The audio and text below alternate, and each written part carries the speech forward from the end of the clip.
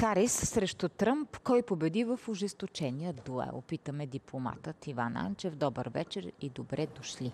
Добър вечер. Като добър познавач на Съединените Американски щати, господин Анчев, кажете този законопроект за чуждестранните агенти, откъде е преписан? От Кремъл. От Америка от или от Москва? Защото според господин Костадинов бил преписан от американското законодателство. Е, господин Костадинов може да твърди каквото пожелае, но този абсолютно злонамерен проекто закон, който беше вчера входиран именно за чуждестранните агенти няма да стигне 100%, до 100% преписан от руски, некадърно преписан и няма нищо общо с така наречения Foreign Agents Registration Act или ФАРА, който е американски, който визира най-вече дейността на лобистските фирми в, в Америка, който, знаете, лобизма е много силно застъпен в американската обществена система. И има единствено за цел да се знае, че когато дадена е компания там, да, работи за някоя чужда компания, да бъде ясно записано. Има големи наказания, но те са финансови само, без да изключват съответните люде, които работят в тази компания от обществено-политическата дейност, именно което иска, иска Костадинов. И именно затова казвам, че това е един абсолютно злонамерен към българската демокрация и българското гражданско общество проекто закон. И първо, че Атлантическия съвет на България, на който имам честа да съм съпредседател, е краен отрицател на подобен проекто закон.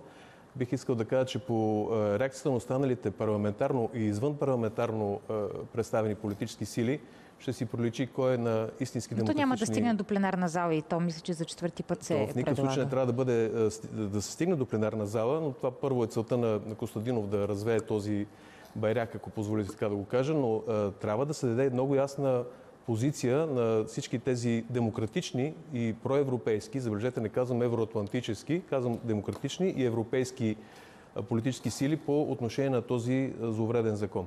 Дайте сега за дебатът между Харис и Тръмп. Кой победи?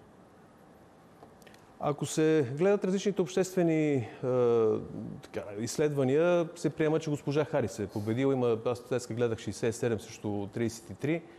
Но в един такъв дебат е много трудно да се каже кой е победител, защото на първо място трябва да бъде уточнено, че е, кандидат президентския дебат той не решава нищо. Той не решава победителя.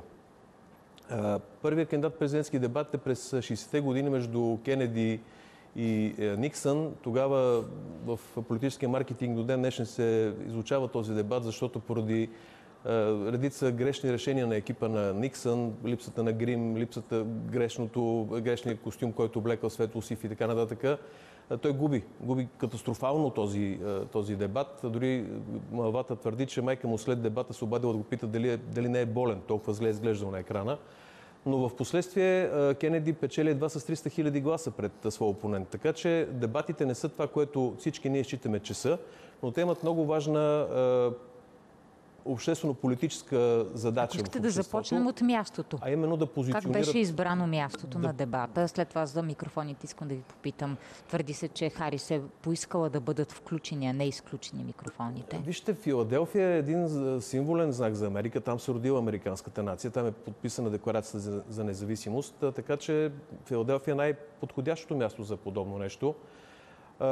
Това с микрофоните е вече игра на между двете, между двете екипа, кой каквото прецени, че е по-добро за съответния кандидат. Байден е поискал на предходния дебат да бъдат изключени микрофоните? Аз бих казал, че да, защото ние знаем агресивното поведение на Тръмп. Започват опонента да говори и той казва лъжа, лъжа, лъжа. Тоест той го изкарва извън равновесие с това са абсолютно звучени приеми. Тръмп е един блестящ манипулатор. Аз това съм го казвал и друг път. Манипулатор в позитивния смисъл на думата манипулатор но той е много, той е много добре държащ се пред камера. Него камерата му е първа природа, даже не втора. А, но аз бих казал, че сега наблюдахме в този дебат един корено променен баланс. От една страна, първия дебат имахме един много несигурен Байден, което доведе до промените в кандидата на Демократическата партия и един доминиращ Тръмп. Докато сега видяхме точно обратното. Доминиращата госпожа Харис, която така се представи по най-добрия начин по който е свикнал от своите прокурорски години да, да се държи спрямо опонента си, защото ние знаем, че в съдебния, да процес, съдебния процес в Съединените щати е преди всичко една голяма игра, една голям, един голям спектакъл и тя категорично изкара Тръмп извън, извън неговото амплуа.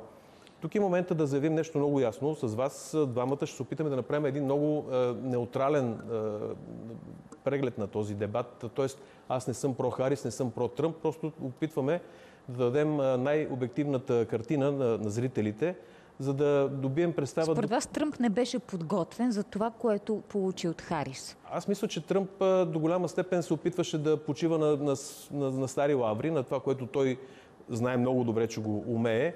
И може би до някъде е подценил е, така, възможността на госпожа Харис. Но пък от друга страна ние виждаме една много добра работа на, на екипа й. Човек, който е подготвил за, за, това, за този дебат е легенда в политическия маркетинг и в същото време едно много голямо желание на госпожа Харис да се представи по най-добрия начин. И тя го постигна. И тя го постигна. Относно економиката, там представи ли се добре госпожа Харис? Ние знаем, че Бил Клинтън по времето на един друг дебат казва онова прословото економиката глупако, защото економиката действително е много важна за, за Америка, за всяка държава, но най- най-вече за Америка. Тя до голяма степен формира победителя от всяка една кандидат президентска надпревара. Това беше, трудната, това беше трудната сфера, трудната част за Камала Хари, защото тя малко ли много стъпва върху това, което прави Байден през неговия президентски мандат. И трябва да ви кажа, че в момента в економиката на Съединените щати има сериозни, сериозни проблеми. Инфлацията. Това е ключов момент, не случайно питам за економиката. Да, аз поддържам контакт с хора от реалния бизнес в Америка и те ми казват, че наистина имат много големи трудности, които не са ги имали по времето на президента Тръмп. Дали това е субективно или почива на някакви реални економически маркери, показатели и така нататък, аз не се наемам да твърдя, но знам от разговорите ми с и то български бизнесмени в Америка и американски бизнесмени сами по себе си, че предизвикателствата са големи. Предизвикателствата са много големи. И това ще бъде една от големите задачи на бъдещият президент на Съединените щати, който да е той и тя, да преодолее тези, тези проблеми Изрече в момента. ли Тръмп неистини?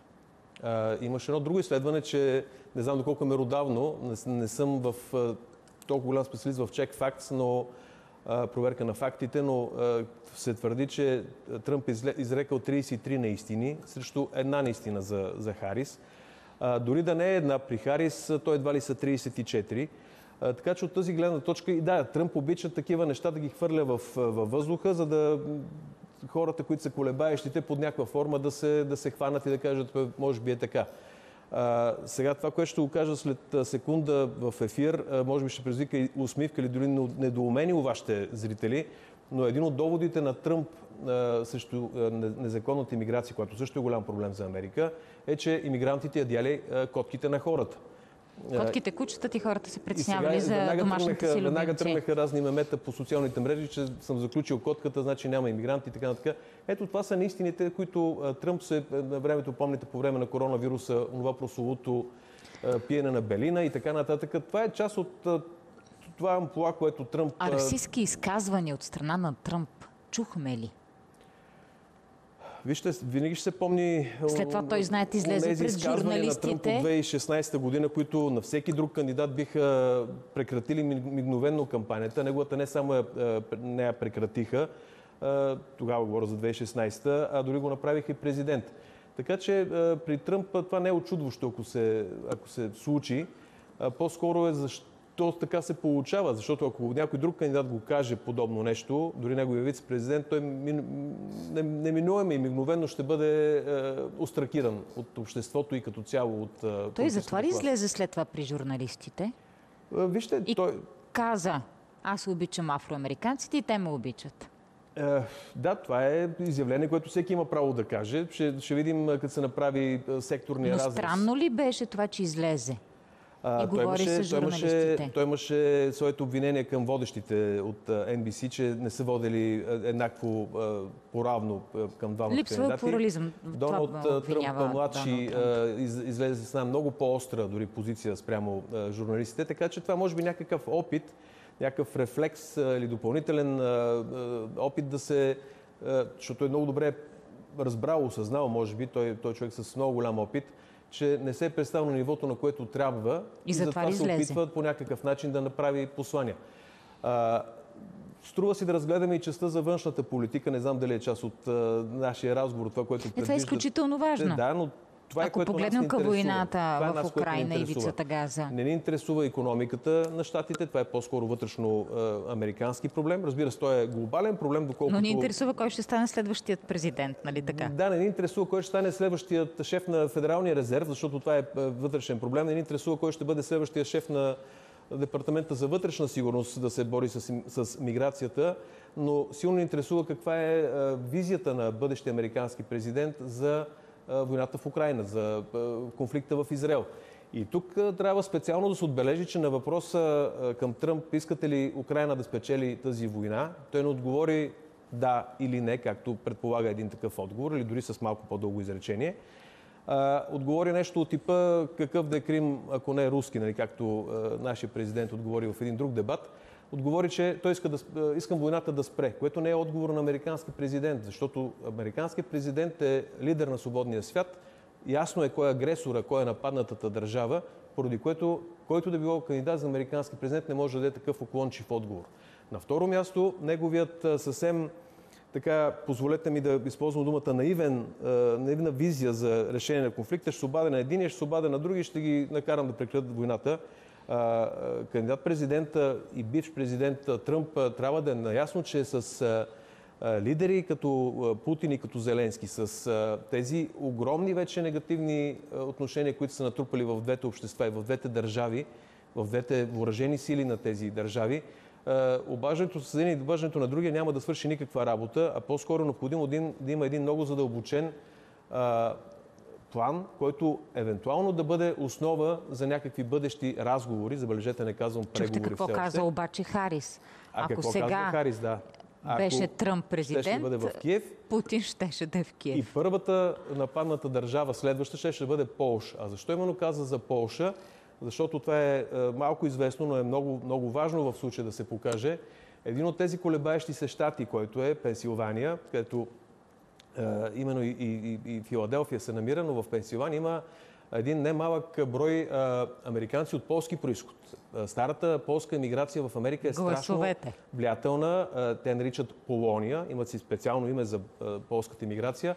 И в този колебаещ се щат е много важно ти да привлечеш а, точно полската общност.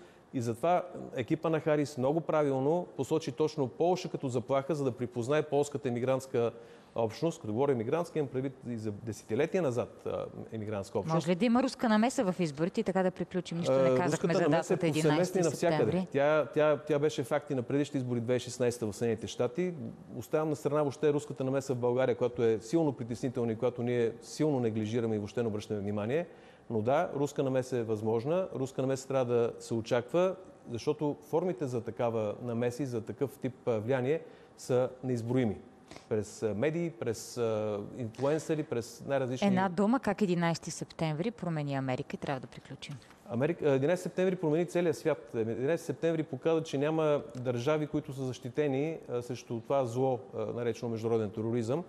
Забележете, не казвам ислямски тероризъм, казвам международен тероризъм, защото всеки един тероризъм, независимо каква е неговата основа, е неизмеримо зло и ние трябва като демократич, демократично общество да се борим с всякакви сили срещу него. Благодаря ви за този разговор и до нови срещи. Иван Анчев, преденят Онер. Така се разделяме до утре, точно в 19.15. А вие останете с програмата на телевизия България Онер.